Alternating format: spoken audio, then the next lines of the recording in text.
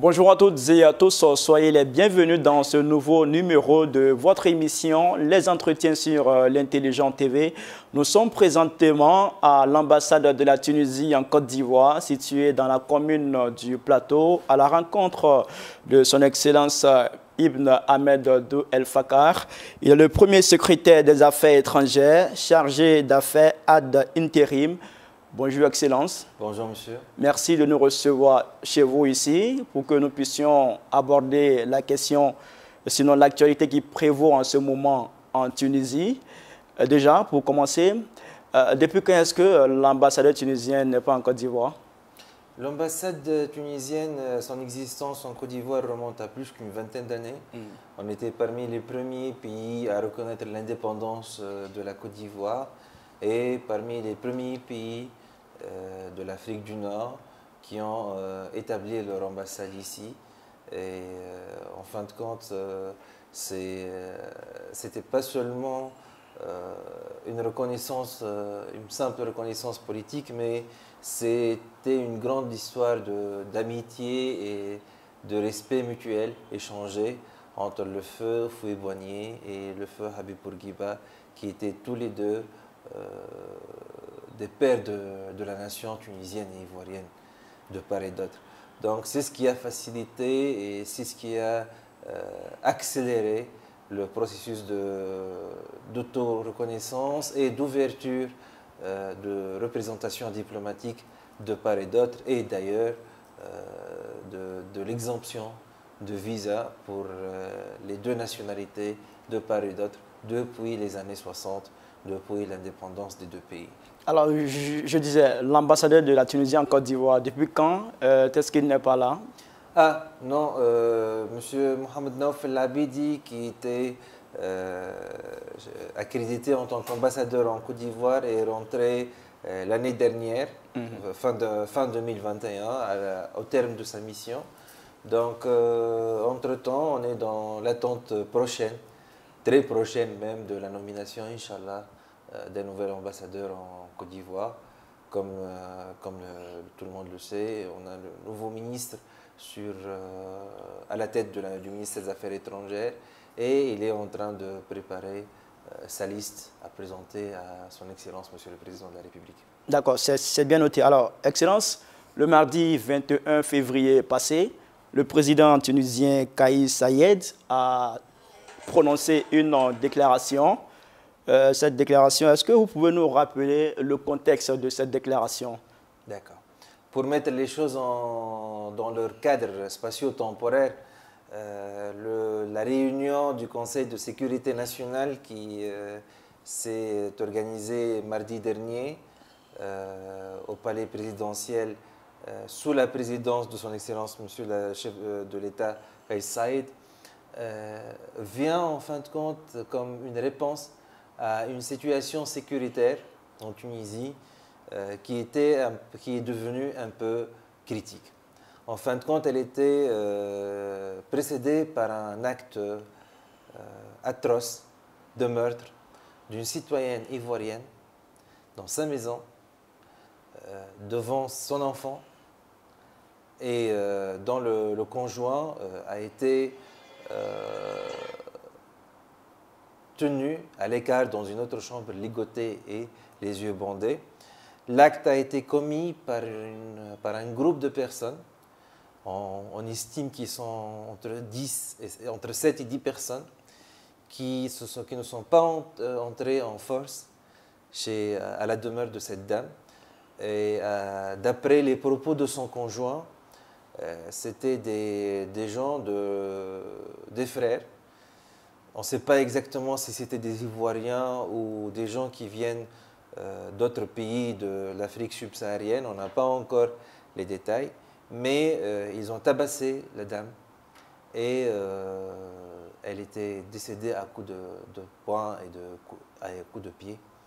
Donc c'était un, un, accident, c'est pas un accident, c'était un incident affreux qui a traumatisé la famille de, cette dame ivoirienne qui a traumatisé euh, la diaspora ivoirienne, mais euh, qui a suscité beaucoup de, de crainte, de peur et de colère au sein de la communauté tunisienne sur place de, des Tunisiens qui vivaient dans ce quartier. Et c'est ce qui a suscité euh, cette euh, euh, déclaration du, président C'est suite à une opération, le jour même, le, ce lundi-là, qui était là, avant le, mardi, il y a eu une grande opération de ratissage faite par les autorités de sécurité tunisiennes pour pouvoir mettre la main sur ces délinquants, ces criminels qui ont connu cet acte inadmissible. Suite à cette euh, opération de ratissage, on a commencé à avoir des, euh, réactions sur, les, euh, sur Facebook, sur Messenger, sur TikTok et tout ça, qui, qui ont un peu déchaîné, qui ont un peu dérapé, des deux côtés. Il y a des gens qui disent on n'en veut plus de cette situation-là, on ne supporte plus cette situation-là. Et euh, ça, c'est de la partie tunisienne. Et pour les euh, gens qui viennent de l'Afrique subsaharienne, on a dit, voilà, vous faites maintenant la, chasse aux sorcières, on est persécuté partout, on est euh, poursuivi partout, on est arrêté partout, sans en, réalité lier ce qui s'est passé dans, ces, 48 heures, dans les 48 heures qui ont, suivi le meurtre à ce que c'était une, une, opération de sécurité dont le but était de trouver, de mettre la main sur ces gens-là. Et euh, bien sûr, au fur et à mesure que l'opération était en train d'évoluer, il y a eu pas mal de questions qui se sont euh, révélées. Des, euh, des, établissements en irrégularité juridique, des crèches qui ne répondaient pas à... Il n'y avait pas d'autorisation, ni de cahier de charge, ni quoi que ce soit. Des espaces de culte de tout type. Euh, on dit des églises, on se rend compte qu'il n'y avait pas d'église, il n'y avait pas de pasteur, on avait un charlatan qui faisait de la sorcellerie, qui vendait aux gens des, euh, des bourses magiques ou qui dit qu'ils qu font de l'argent. Donc l'opération a, pris une grande ampleur et les réactions étaient plus grandes. Oui, justement, en parlant de, de réactions, il y a des associations, euh, des ONG qui ont réagi à la suite euh, des propos du président tunisien. Il euh, dénonce un discours haineux et raciste de la part du président tunisien. Oui, on a, c'est pas seulement ces, ces, organismes, ces, et ces ONG. C'est un discours, c'est un discours haineux.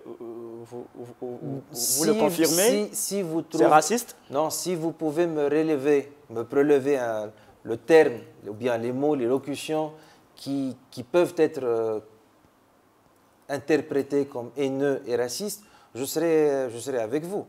Parce que jusqu'à un nouvel ordre, ce qu'on a vu comme interprétation, c'est voilà, euh, le discours il est haineux, le discours il est raciste.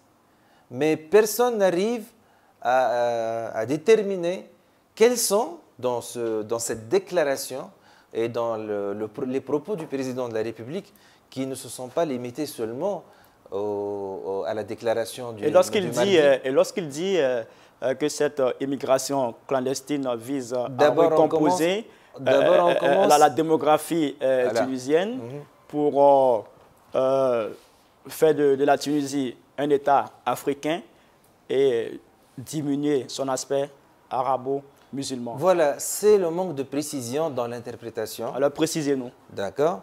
D'abord, euh, on, on, a utilisé en aucun lieu le terme clandestin, ni clandestine. On a utilisé peut-être à six ou sept reprises le terme immigré irrégulier. On parle d'irrégularité de situation. Où, est la différence entre... Ah voilà, il faut être un peu connaisseur. Où est la différence Sinon, on n'est pas professionnel. C'est un une grande défaillance de professionnalisme de la part des gens qui font l'interprétation. Clandestine, c'est que vous êtes entré dans le pays secrètement. C'est clandestin, c'est dans le noir. Ça, c'est une qualification matérielle du terme. Immigration irrégulière, ce n'est pas évidemment que vous êtes entré en clandestinité mais c'est que vous êtes actuellement en situation irrégulière. Donc vous pouvez entrer, par exemple, pour les Maléens, les Sénégalais, les Ivoiriens, ils peuvent entrer en Tunisie d'une façon régulière, sans aucun problème. Ils n'ont pas besoin de visa. Mais au bout de trois mois, s'ils ne régularisent pas leur situation, ils ne se présentent pas pour avoir les titres de séjour, ils deviennent dans une situation irrégulière. Donc là, on est face à une, à une qualification technique, juridique, bien déterminée, que malheureusement, pas mal de gens leur a échappé et je vois très bien que ça vous échappe aussi. Ça m'échappe pas, moi je ne fais que relayer, rapporter les propos de ces associations. C'est à, partir de cette euh, confusion, de cet amalgame, qu'on retrouve cette interprétation d'un discours haineux et raciste. Le président de la République n'a désigné euh, aucune race ou un groupe par euh, son appartenance religieuse, sa couleur ou quoi que ce soit. Il a utilisé des termes bien spécifiques et très clairs en parlant tout au long de, de, sa déclaration, comme dans son deuxième discours avec le ministre de l'Intérieur, d'immigrés clandestins et il a bien désigné l'appartenance géographique et non pas euh, ethnique de ces personnes. Ils viennent de l'Afrique subsaharienne. En fin de compte, c'est tout à fait naturel qu'on a eu ces, trois mots, ces, trois blocs de mots, immigrés ou immigration, irrégulier ou irrégulière, de l'Afrique subsaharienne. Parce qu'en fin de compte, à 99,99% des situations, des personnes qui sont en irrégularité euh, juridique en termes d'immigration, ils viennent tous de l'Afrique subsaharienne, à l'exception de quelques dizaines de, Syriens. Mais on n'a pas d'autres euh, nationalités qui sont dans cette situation, sauf ceux qui, qui viennent de cette région. Donc, euh, je continue pour euh, ce que vous considérez comme c'est pas moi qui, le considère. Vous avez, vous, bien, signifié, bien signifié que ce sont, ce sont des interprétations de certaines associations. le président je vous donne l'occasion de commenter, c'est tout. Oui, quand le président, le président a noté un complot criminel monté pour changer la, composition démographique de la Tunisie et impliquant des acteurs de l'intérieur et de l'extérieur du pays depuis 2011, et que le but non déclaré, c'est par l'organisation de ces afflux successifs de migrants, de migration irrégulière, et de considérer, c'est le terme exact de ce qui a été dit, et de considérer la Tunisie comme un pays purement et simplement africain, en dénigrant ses autres composantes identitaires, à savoir arabo, euh, arabe et islamique. Euh, en, aucun lieu, vous n'allez trouver euh, des propos, que ce soit pour les représentants du gouvernement ou bien pour les personnes ordinaires sur Facebook ou autre, qui disent que la Tunisie n'est pas africaine. Dans la constitution de la Tunisie, depuis 1959, on est pratiquement à notre... Euh, on a la Constitution 59, euh, celle de 2014 et la dernière euh, qui a été votée par référendum en 2022. Donc on est proprement dans notre troisième Constitution. Et la composante qui a été toujours gardée et qui n'a jamais fait de, discussion ou de différence, c'est la composante africaine dans l'identité euh, de l'État tunisien. Et c'est annoncé au niveau de sa constitution elle-même. Pourtant, le, président, le président a parlé d'une recomposition de la démographie. Voilà, le président parle d'un complot. Complot organisé par qui, orchestré par qui? Voilà, quand, le, président, a, et ça a été annoncé dans le communiqué, et ça fait, le, ça fait un sujet qui est suivi par les autorités sécuritaires compétentes. Et il a bien désigné qu'il s'agit d'acteurs, il ne s'agit pas de personnes, de simples personnes, d'acteurs qui sont à l'intérieur et à l'extérieur du pays. Dans les zones amont et malheureusement dans les pays aval. Et euh, cette situation, euh, ce n'est pas typiquement propre à la Tunisie. C'est depuis les années 2000 qu'on a assisté et que des partenaires l'ont déclaré clairement sur les médias, qu'on veut faire de la zone de l'Afrique du Nord une zone tampon contre la migration des Africains subsahariens. Alors, euh, euh, ça a été annoncé par de très hauts responsables dans des pays occidentaux qui, qui étaient même, euh, qui se sont même pavanés devant les, les, caméras des chaînes de télévision en disant on va faire des offres de plus en plus intéressantes aux Tunisiens et aux autres pour qu'ils acceptent la le, placement et la relocalisation de, des immigrés subsahariens dans leur pays. Alors, excellence, excellence. En, total, carrément. Quand le, président, quand le président tunisien dit, euh, parle d'une entreprise criminelle ourdie à l'orée du siècle pour changer la composition démographique de la Tunisie, afin de la transformer en un pays africain et stopper son caractère arabo-musulman. Euh, Est-ce que ce n'est pas euh, une manière de souscrire à cette théorie du grand remplacement? Il y a une différence entre s'inscrire dans la théorie et euh, relater des faits. La théorie dont vous évoquez, c'est une théorie qui a été plus ou moins bien détaillée à partir de 2011 par un écrivain français, mais cette théorie ne vient pas euh, réellement du vide. Cette théorie vient de pratiques gouvernementaux reconnus par ces acteurs eux-mêmes.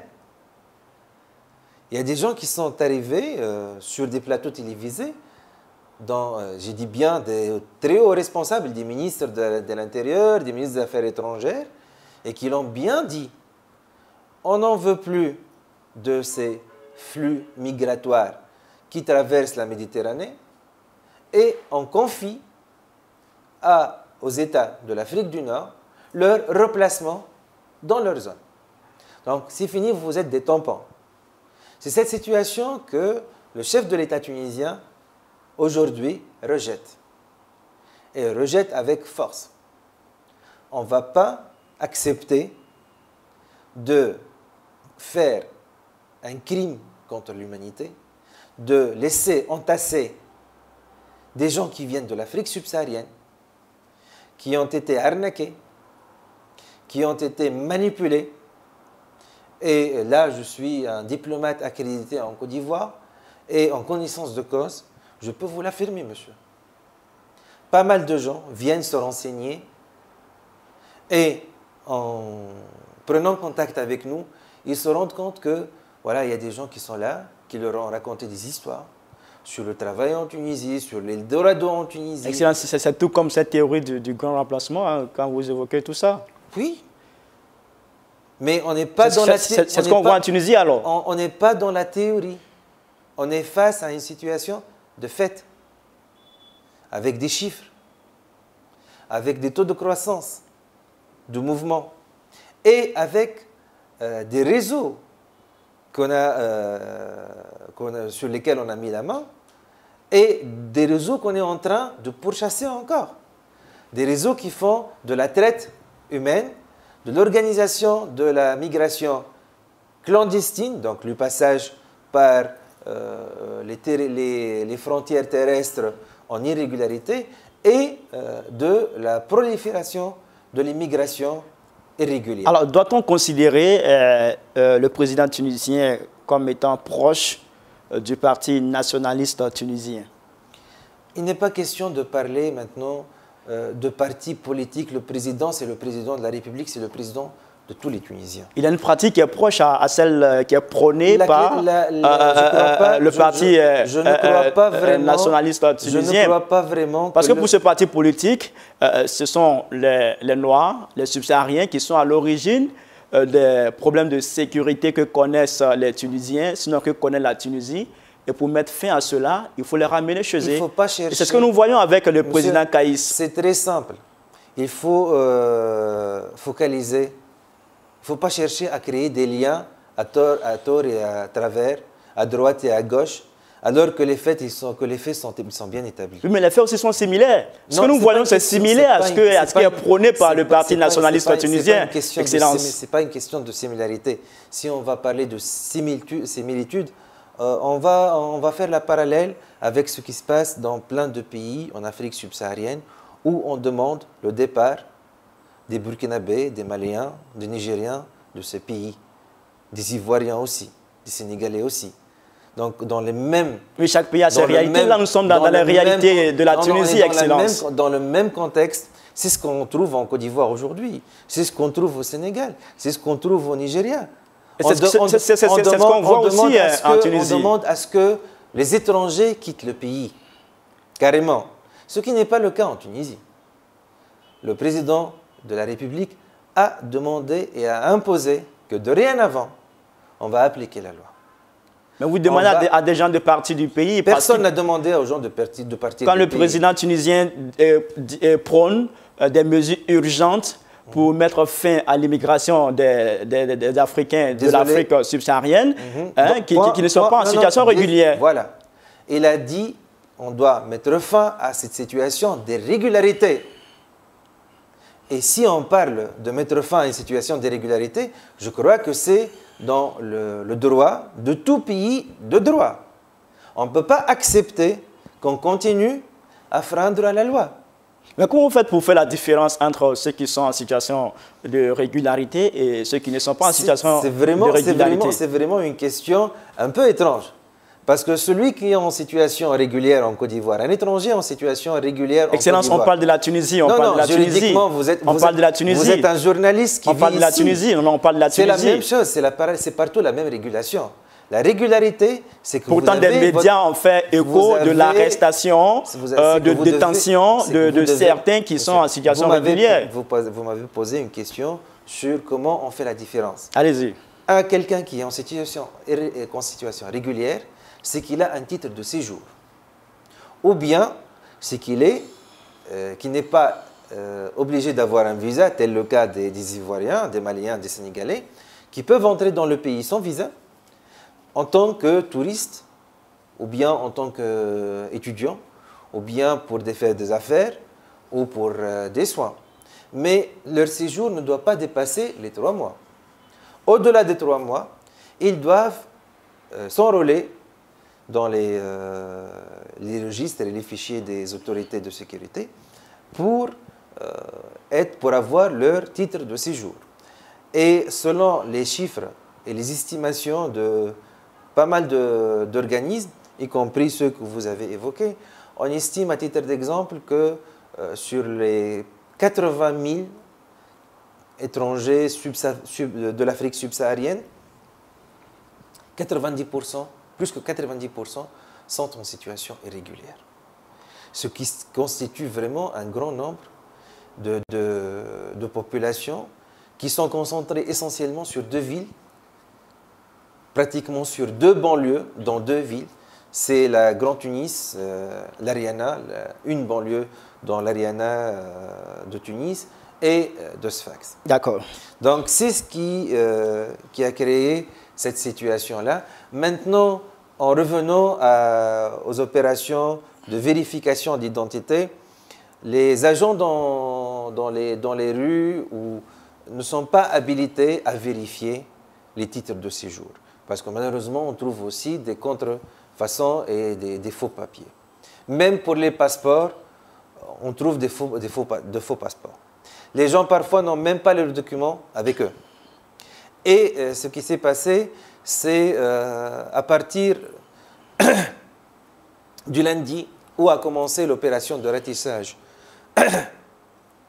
Pardon, pour retrouver les, gens qui ont commis le meurtre atroce de la dame, qu'on a eu, c'est, euh, on ne peut pas réellement parler d'arrestation, mais d'interpellation de gens qui ont été conduits au poste de police pour faire la vérification sur place, ce qui est une pratique administrative euh, reconnue et appliquée partout.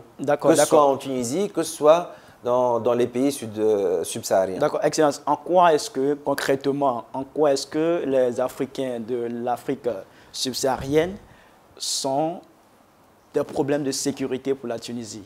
Non, le président de la République n'a jamais évoqué que les gens qui viennent de l'Afrique subsaharienne sans euh, la cause. Pourtant, dans le développement que vous avez fait tout à l'heure, c'est ce qu'on peut remarquer avec le maître de, de, l'Ivoirien en question. Vous savez qui, euh, vous connaissez les nationalités des gens qui ont tué On ne connaît pas nationalité. Vous connaissez leur appartenance? C'est que ce sont, euh, vous l'avez dit dans votre développement, ce sont des subsahariens. Est-ce que c'est moi seulement qui l'a dit? Mais vous l'avez confirmé, voilà. Donc Moi, j'ai confirmé. Donc, on, on, peut, on, peut dire que vous... Donc, donc il ne faut pas faire, euh, faire sortir les choses dans de leur cadre.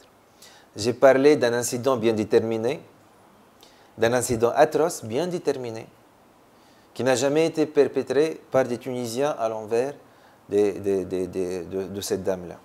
Maintenant, le, la position officielle de l'État tunisien dans le discours du président de la République ou euh, premier ou deuxième discours, ainsi que pour le ministre des Affaires étrangères, on a bien souligné que c'est la migration irrégulière qui est source de criminalité et, euh, je, cite carrément, et de pratiques inacceptables, en plus du fait qu'elles sont illégales et passibles de peine pénale. On n'a pas incriminé les migrants et la migration. Donc, les Africains subsahariens, pour vous, ne sont pas problème de sécurité pour la Tunisie, c'est ça? On parle de la migration irrégulière qui met ces gens dans une situation critique économiquement et socialement et qui les, pousse, à la criminalité. Tant que vous êtes en, irrégularité, c'est que vous ne pouvez pas sortir au grand jour et euh, pratiquer votre vie ordinairement. Et c'est une question qui fait euh, un accord anonyme de tous ceux qui ont un minimum de connaissances des questions migratoires.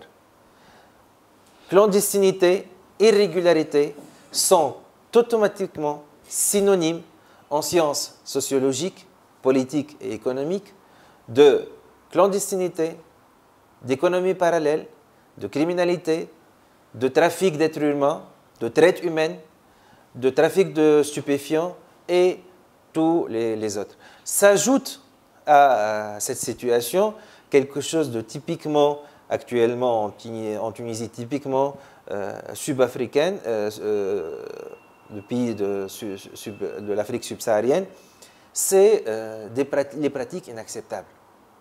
Parce qu'on n'arrive plus à tolérer l'existence de milices armées avec des machettes dans les rues des quartiers tunisiens. Ils sont africains Ils ne sont pas latinos. Ils sont africains, c'est ce que...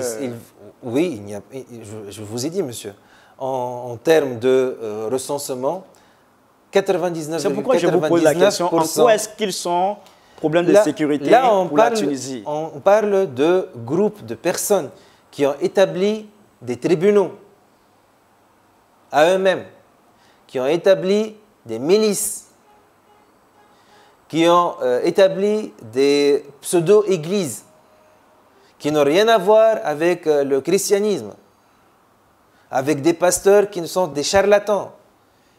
Ils se, ils se présentent comme guérisseurs, ils se présentent comme comme même ils peuvent vous vendre des, bourses magiques. Vous mettez de l'argent et ça, sera multiplié par 100 et par 1000. On parle de, euh, de gens qui vivent à 15 et 20 personnes dans un appartement, dans, euh, dans l'illégalité totale, euh, où il y a des, dans la prostitution et plein d'autres questions. C'est ce que nous condamnons. C'est cette situation-là, ce sont ces faits, ce sont ces activités qui sont condamnées par la rue et par les, les autorités tunisiennes. Et ces, euh, ces faits ne sont pas, malheureusement, le fait de migrants qui sont en régularité.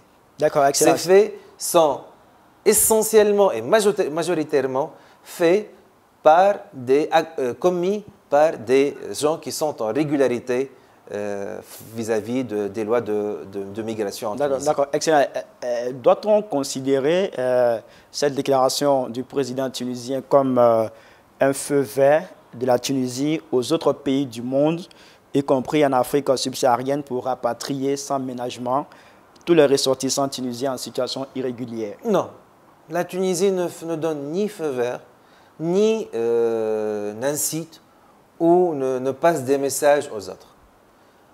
Nous, on parle. euh, on Pourtant, fait vous pas- le faites chez vous, vous ne voulez pas, que les autres le, le fassent. Ça, c'est l'interprétation des autres. Et chacun est libre de sa propre interprétation. Nous, on ne donne pas de leçons aux autres et nous ne donnons pas des instructions aux autres. Ni nous cherchons à envoyer des messages aux autres. D'ailleurs, euh, en 2011, quand on a eu un changement politique en Tunisie, on l'a bien dit, on n'est pas là pour enseigner la démocratie aux autres ou bien pour inciter les autres à, nous suivre. Nous, ce qui concerne, c'est notre réalité, c'est la situation de notre pays, c'est la paix sociale et la cohabitation visible entre les différentes composantes démographiques euh, du corps humain en Tunisie. Alors, Excellence, là, vous cherchez à mettre de l'ordre chez vous en Tunisie. Exactement. C'est normal aussi que les autres euh, mettent de l'ordre chez eux. Oui, je ne peux pas, je ne peux pas parler des autres. C'est logique. on- on- la logique, C'est la logique. La logique, c'est que nous, on s'occupe de nos propres affaires. On n'est pas là pour s'occuper des affaires des autres, ni de leur donner euh, les solutions, ni pour établir et diagnostiquer leurs problèmes. On ne on peut pas venir euh, euh, dire maintenant, voilà, regardez les Tunisiens, qu'est-ce qu'ils ont fait, et euh, il faut, c'est un signal qu'on doit dupliquer ça en- au Mali, ou bien au Maroc, ou bien en Espagne, ou bien en Égypte, ou bien au Soudan, ou en Érythrée, ou en Afrique, Su- Sud-Afrique. Non. Et même en Europe, parce qu'en Europe aussi, il y a des, des Maghrébins, des, notamment des, Tunisiens dans- qui dans- sont cités voilà, dans des actes de violence dans tous nos en- en, discours, France dans et qui sont en situation irrégulière. Dans, dans tous nos discours. Il faut aussi dans- les ramener chez eux dans tous nos à- à- discours, dans toutes nos euh, positions, on a fait allusion à aucune situation similaire à la nôtre dans d'autres pays. Alors, On ne cherche pas à se comparer aux autres, on ne cherche pas à euh, in- s'ingérer dans, dans les affaires des autres. Alors, Excellence, il y a certains spécialistes hein, euh, de la politique tunisienne qui estiment que c'est plutôt euh, une façon pour le président tunisien de masquer son impuissance face à la crise économique que connaît actuellement le pays. Ce sont les interprétations, monsieur. Oui. Et, euh, Qu'est-ce que vous les, en pensez? les, les interprétations euh, ne- n'engagent que ces, gens- ces gens-là. Alors, pour dire que voilà, on a commis, on a fait ces déclarations pour cacher euh, ou bien pour faire diversion, euh, manipuler l'opinion publique, je crois qu'on est loin de cette situation. Parce que l'élection présidentielle, c'est Euh, pas loin. On a un taux d'inflation qui est de 10%, euh, la Monsieur- pauvreté. monsieur, si, on, si on veut chercher euh, des, des liens, on va trouver 1500 liens. Mais euh, je crois que le lien est très apparent. Un meurtre scandaleux le lundi, avec une grande opération de ratissage sur le Grand Tunis et les autres villes euh, dans le pays, et des réactions d'Africains subsahariens et de Tunisiens sur les mass médias, sur Facebook, sur Twitter, qui font appel à des confrontations, ce qui a imposé à une réunion en urgence du Conseil de sécurité, Oui. présidé par le président de la République. Et il a sorti les propos qu'on a entendus. Voilà. Alors, excellent, Donc on est, Excellence, on est- est-ce on est que- bien, on est bien dans ce cadre-là. Les faits sont établis, le lien est établi. Si on veut chercher d'autres liens, on peut, on, on peut courir avec notre imagination très très loin. Est-ce que le président ne gagnerait pas à s'intéresser euh, plutôt à ses problèmes économiques Est-ce que c'est pas Est-ce que ce qu'il doit faire est-ce que réellement s'intéresser aux problèmes économiques Il y a un taux d'inflation de 10%, Est-ce que s'intéresser il y a la pénurie de- de certaines denrées. Est-ce que s'intéresser aux problèmes économiques veut dire qu'on laisse à côté les questions sécuritaires? On a un taux de pauvreté euh, Non, qui est-ce est de que vous- est-ce 20%. que- monsieur, est-ce que euh, vous suivez Parce que vous ne suivez que ce qui vous concerne. Vous, euh, vous ne suivez que ce que euh, concerne les Africains subsahariens et cette situation-là avec les propos du, non, président. La, Mais le problème économique, ce ne sont pas les... Est-ce que vous concerne la Tunisie Est-ce que vous connaissez qu'est-ce qui se fait au niveau du travail gouvernemental euh, dites-le nous, dites-le nous, dites-le nous. Non, euh, l'État fait son travail sur tous les plans. Maintenant, chacun regarde le côté qui l'intéresse. Pour les hommes d'affaires et pour les, gens qui font du business, ils suivent l'actualité économique et le comportement officiel gouvernemental en termes d'économie. Alors, Excellence, euh, on parle toujours euh, des problèmes économiques de la Tunisie. Hein. On a des chiffres de l'Institut national de la statistique euh, qui indiquent que près de 40% des Tunisiens âgés de 15 à 29 ans auraient l'intention d'émigrer. La situation est-elle intenable pour Kaïs Saïd Non, ce n'est pas une question d'intenabilité de, situation. Euh, je reviens d'abord au point où nous sommes, nous sommes arrêtés tout à l'heure, c'est que euh, on ne peut pas gérer un pays euh, en donnant seulement de l'intérêt à une seule facette de sa politique. Donc il y a le volet sécuritaire, il y a le volet économique, il y a le volet social, il y a le volet diplomatique.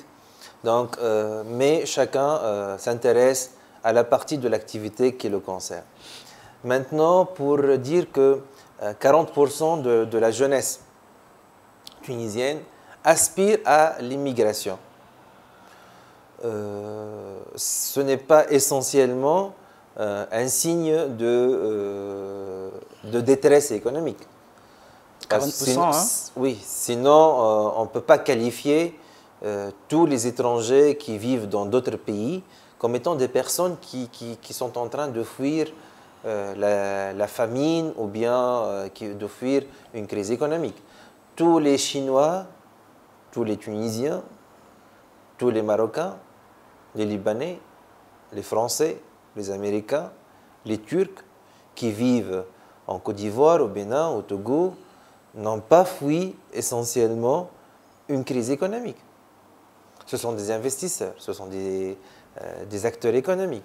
Maintenant, euh, les, Tunisiens sont connus pour leur ambition. Et euh, si aujourd'hui on, a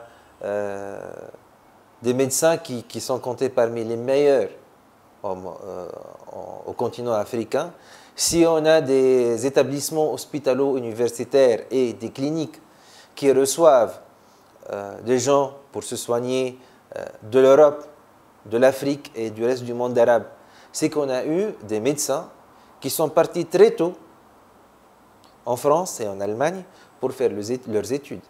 On a parmi les meilleurs ingénieurs au monde en informatique qui, sont, qui, ont, qui ont commencé leurs études en Tunisie qui ont fini leurs études euh, en France, en Belgique et en d'autres pays.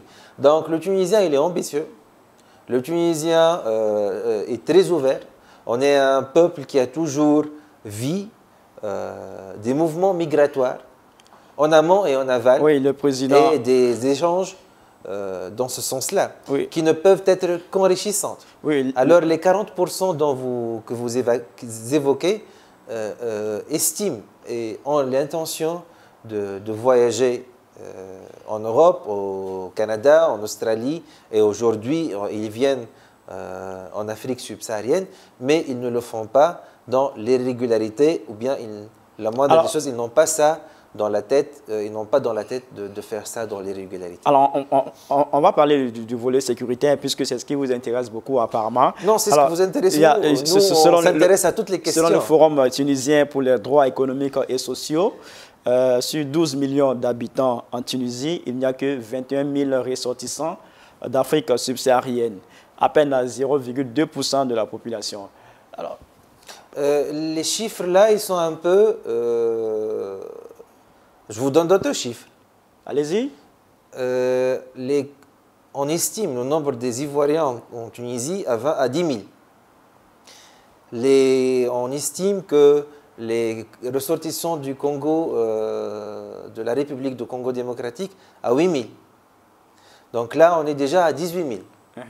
Sans ajouter les autres nationalités. Donc, euh, si on dit qu'ils ne sont que ce nombre très petit, c'est qu'on a des problèmes réels pour l'établissement du nombre exact de, migrants, euh, des étrangers en Tunisie. Parce qu'il y a une grande partie qui est dans l'irrégularité. Donc, ni les ambassades, non la liste de tous leurs citoyens. Vous pouvez demander à n'importe quel diplomate africain quel est le nombre exact de, vos ressortissants dans, euh, dans, dans, un pays. Par exemple, si on demande euh, à l'ambassadeur de la Côte d'Ivoire, qui est notre ami, combien il y, a, a d'Ivoiriens en Tunisie, il va vous donner deux chiffres.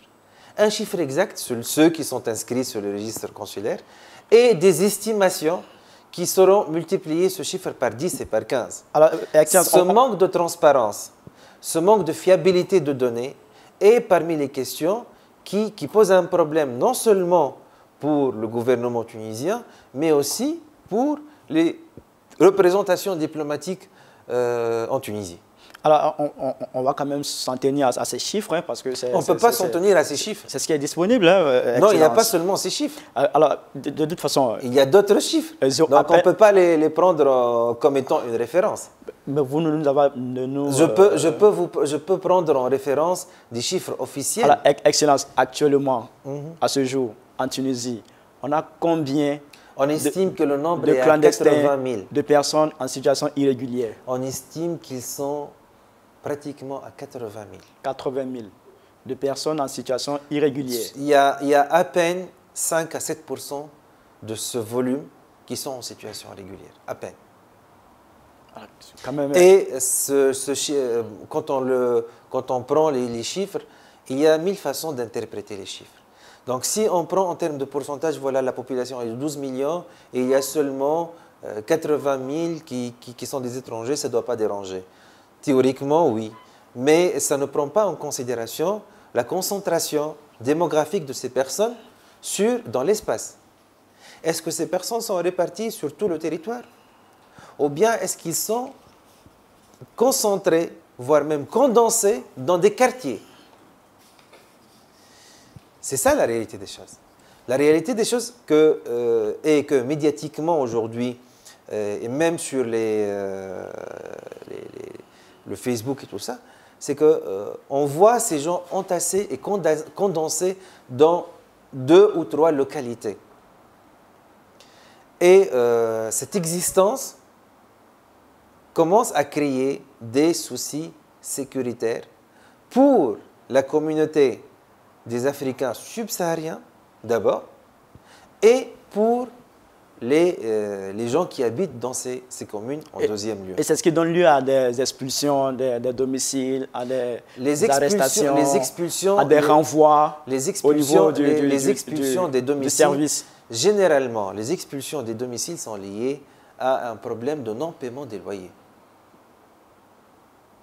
C'est une pratique. Avec les témoignages qu'on a entendus de, des personnes qui ont été expulsées, ce n'est pas parce qu'elles n'ont pas payé le loyer, elles ont toujours payé le loyer. Non, non, non, non. Le problème, c'est que c'est ce qui se passe réellement, c'est que généralement, au bout de 3-4 mois, on ne paye plus les loyers. Au bout de 2 semaines, 3 semaines, euh, on loue une maison à une famille de 3 personnes, de 4 personnes. On se trouve avec 20 personnes, avec du tapage, avec euh, de, comportements euh, d'incivisme. Est-ce que la loi tunisienne interdit, quand on prend une maison, est-ce que la loi tunisienne interdit, euh, sinon fixe un nombre de personnes qui doivent habiter dans cette maison? Toute maison, si on, vous, si on prend un espace de 50 mètres carrés, il est fait pour être habité par 5 personnes. Est-ce que la loi tunisienne dit? Non, non les conditions de salubrité, d'hygiène de vie, de propreté, de paix. Est-ce que vous pouvez imaginer... Est-ce que ça, ce n'est pas votre interprétation Non, c'est pas... C'est pas Est-ce que c'est ce que la loi dit? C'est la question que je pose. C'est ce qu'on dit qu'on a des pratiques inacceptables. C'est une interprétation. Ça, peut, être, ça peut être inacceptable pour vous, mais acceptable pour d'autres personnes. Non, mais quand vous, quand vous louez la maison, la, le propriétaire vous a loué la maison, vous vous êtes présenté, moi je suis là avec mon épouse et mes enfants. Oui, monsieur, vous pouvez prendre la maison. Dans ces conditions-là, ce sont des accords, c'est un entendu contractuel. Du jour au lendemain, on se trouve avec pas mal de gens dans cette même maison.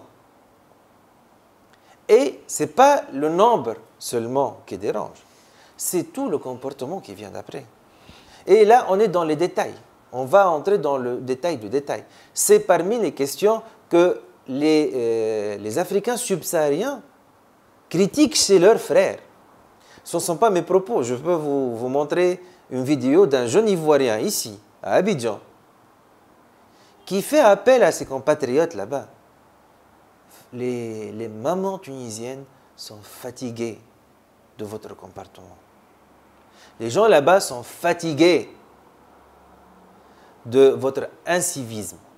C'est le message d'Ivoirien à ses confrères là-bas.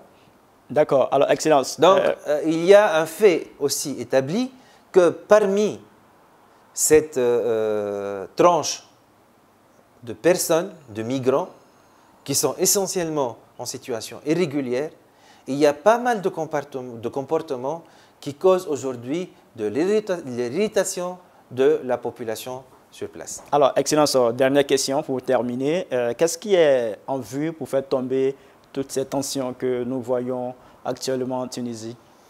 Les, les, les, choses sont déjà faites. Le président de la République était bien clair.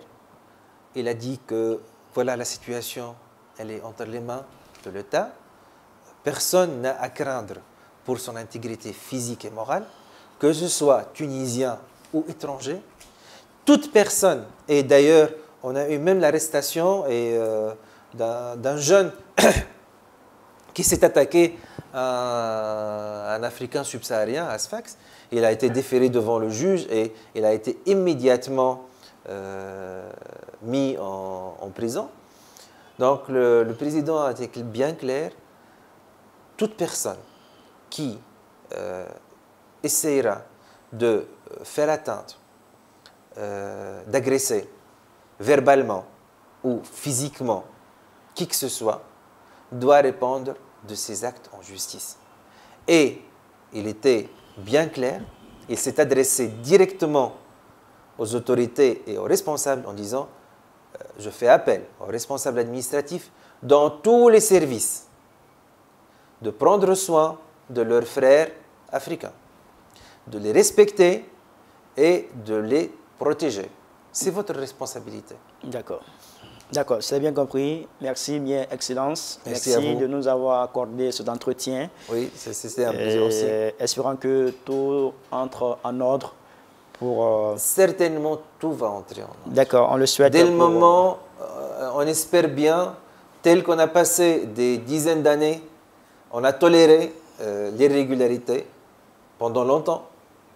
Mais malheureusement, on ne peut plus tolérer l'incivisme qui est lié à cette irrégularité. D'accord, c'est bien compris. Merci encore une fois de plus à vous, de nous avoir accordé cet entretien depuis vos bureaux ici à l'ambassade de la Tunisie en Côte d'Ivoire, dans la commune du Plateau. Merci infiniment pour euh, ce privilège. Merci à toutes et à tous d'avoir suivi euh, cette émission. Nous étions avec euh, son Excellence Dou El Faka Ibn Ahmed, qui est le premier secrétaire des affaires étrangères chargé d'affaires ad intérim. Merci d'avoir accordé cet entretien encore une fois de plus à l'Intelligent TV. Merci et puis à très bientôt sur nos antennes pour une autre émission. Au revoir.